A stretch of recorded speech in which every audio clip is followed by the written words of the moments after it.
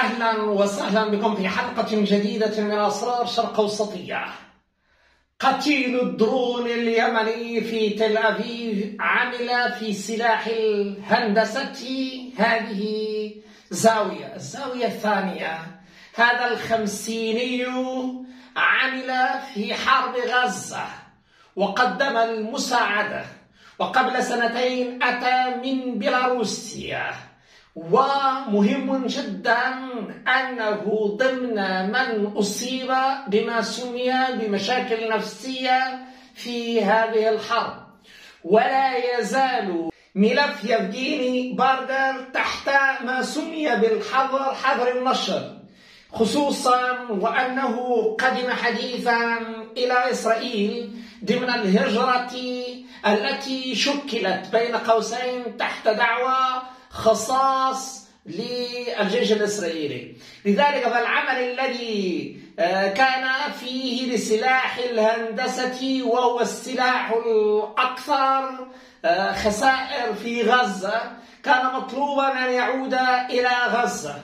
ومهم في هذه التطورات أن نؤكد بشكل مباشر أننا أمام ما سمي بقطعان مرتزقة في واقع الحال اليوم يتأكد وبشكل واضح وأمام ما كان من تحديث لدى الجيش الإسرائيلي لأنه حاول أن يتجاوز هذا الرقم للتأكيد أنه مدني قبل أن تكشف الصحيفة الأقرب إلى نتنياهو بأن هذا عسكري. إذا الصحيفة الأقرب إلى نتنياهو إسرائيل اليوم المعروفة بولائها. إلى جانب القناة الرابعة عشرة فإن هذه ضمن وسائل إعلام نتنياهو والدفاع عن وجهة نظره. ونتنياهو عندما يكشف أن الذي أصيب عسكريا وعمل في سلاح الهندسة بحرب غزة كل هذا من أجل تحميل المسؤولية تماما للجيش الإسرائيلي وعدم إعطاء أي وعد جديد لهذه المعركة. هذه المعركة يجب أن يتحمل مسؤوليتها الجيش الإسرائيلي خصوصا وأن في لقاء الساعة الحادية عشر وبعد أن سمع ولنصف ساعة فقط. نتنياهو رئيس الأركان ويتحدث عن ضرورة الاتفاق مع حماس وضرورة وقف إطلاق النار لتحييد كل من جبهتي اليمن وحزب الله.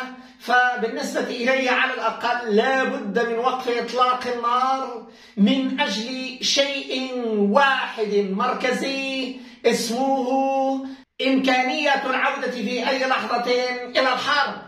لكن ذلك ليس من قراءة نتنياهو وبعد نصف ساعة ادعى نتنياهو أنه متعب وخرج مباشرة قطع الاجتماع ولم يكتمل بعد حوالي الساعة.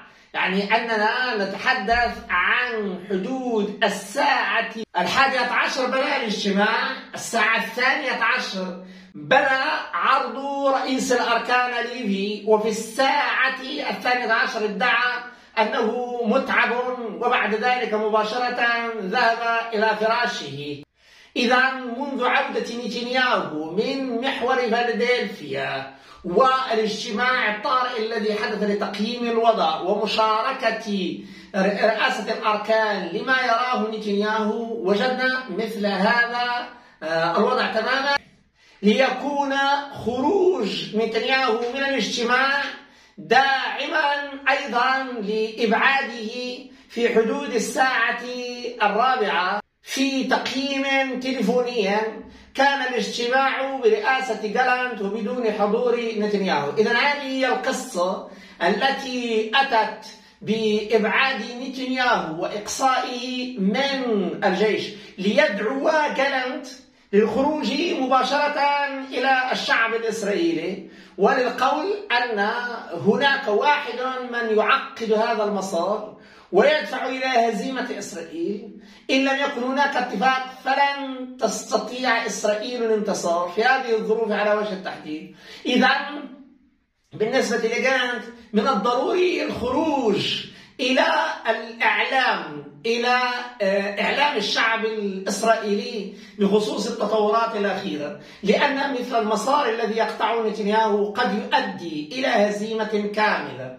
ووقف إطلاق النار سيسحب على الأقل عنصرين هامين جدا أنصار الله وحزب الله. إذا الأمر لا يمكن في أي لحظة أن يعود حزب الله وأنصار الله إلى إلى حرب محدودة ضد عناصر أو في اغتيالات محددة في قطاع غزة أو عدم التزام بالأجندة الزمنية. كل هذا سيخسره الزخم المضاد حسبهم وعلى الأقل فإسقاط أربع جبهات من أصل سبع جبهات أمر ضروري الآن. لكن مجرد الاتفاق على انسحاب القوات الإسرائيلية من القطاع هذا الذي لا يريده تحت أي ظرف وفي أي وثيقة لأن مثل ذلك يعني ضرورة أن يحدث الانسحاب والانسحاب الكامل مع رفع الحصار في هذه الحالة وسيكون الوضع أسوأ.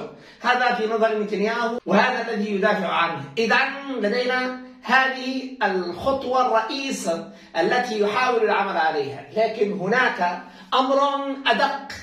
عندما آه، نشر ولا أن نصف ساعة وبعدها خرج نتنياهو. ادعى أنه متعب وخرج. ما الذي حدث؟ كان اتصالا مباشرا من السفير الأمريكي بجلاند وكان هذا الوضع آه، دقيقا للغاية إذ في تل أبيب هناك خمس نقط تعتبر حساسة. لتأتي المفاجأة بشكل أكبر بضربة يمنية ضد تل أبيب والوصول إلى المقر الذي تحميه السفارة مقر الموساد الإسرائيلي الذي يستخدم في حالة الطوارئ القصوى. إذا مقر الموساد الإسرائيلي تحت حماية السفارة الأمريكية في الظروف التي تعتبر فيها الحماية قصوى وبتدخل أمريكي وتحت هذا البند فإن اليمن استطاع أن يصيب منطقة حساسة للغاية قريبة منه إذ لم يكن يستهدف سفارة الأمريكية ولو كان أن الاستهداف للسفارة الأمريكية فإن أمريكا معلنة الحرب على أنصار الله إلى جانب البريطاني. إصابة السفارة الأمريكية في تل أبيب رسالة قوية للغاية لكن الرسالة الأقوى هي هذه الإصابة لهذا المركز الذي يعد بمثابة خدمة مباشرة ومركز للسي آي إي ليأتي مباشرة آه، نتنياهو ويكشف عبر إسرائيل اليوم عبر أصدقائه أن هذا عسكري وأنه يتبع سلاح الهندسة أو عمل بها على الأقل حسب المصادر الليكودية. وهنا لا بد من التذكير بخلاصتين هامتين.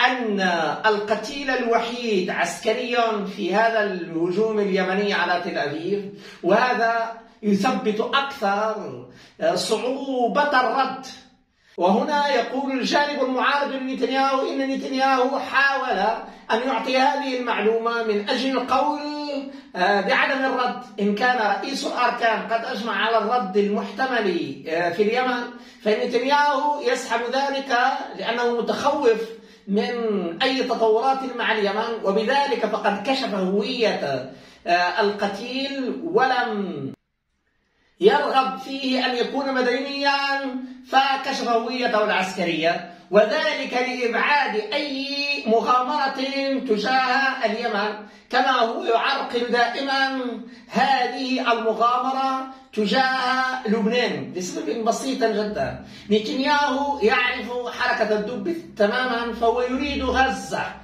ويريد فصل باقي الجبهات عن غزة من أجل التركيز عليها لا يريد أكثر من ذلك. يريد أن يربح غزة ويطمح في وقف الجبهات الأخرى. لا أقل ولا أكثر من أجل أن تكون له غزة. هذا الذي يريده نتنياهو.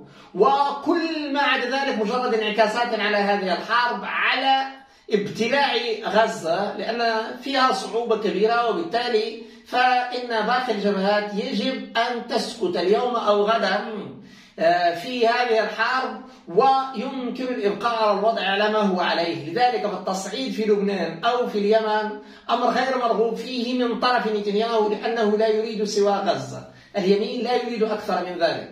لكن في الاتجاه الآخر هناك أيضا حسابات أخرى. وعلى العموم فإن اليمن يستبعد الآن أن تكون عملية ضد آه، صنعاء. هذا شيء مؤكد. الإسرائيلي لا يستطيع فعل ذلك وهذا الذي يمكن تأكيده آه، قبل ربع ساعة لأن اجتماعا سريا سرب عنه مثل هذا التأكيد. لا إمكانية لإسرائيل في ضرب اليمن. قد يكون مجرد مناورة في التسريب ولكن على العموم هناك نسب عالية من دفاع نتنياهو وبشكل صارم على عدم توسيع الحرب تجاه اليمن لأن مثل ذلك قد يؤدي إلى كارثة ضد إسرائيل. شكرا جزيلا وإلى اللقاء.